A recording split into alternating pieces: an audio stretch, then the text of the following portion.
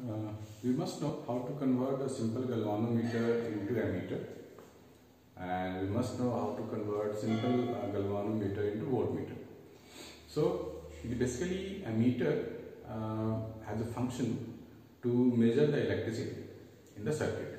So it has to be uh, some minimum resistance thing so that electricity can be allowed. And the second thing is how to convert a galvanometer into voltmeter.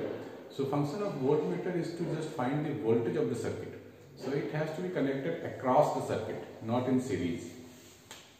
For the ammeter, in parallel to this galvanometer, we apply a small resistance. By applying this, the total resistance of the system becomes lower and current can enter into it maximally and we can measure it. So, by applying the formula like uh, basic things like voltage across the circuit which are in parallel are always remain same. So, we can say Ig into G.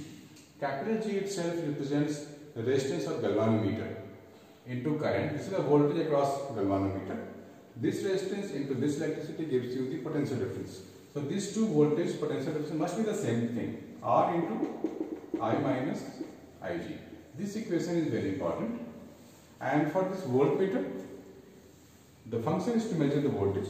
So this entire thing represents voltmeter. So V is equal to these two resistances are in series. So I into R plus G. This is the equation we apply. So total resistance in this case, we can say R total is given by R into G and R plus G since they are in parallel and they are in series. So R total can be written as R plus capital G. Very important.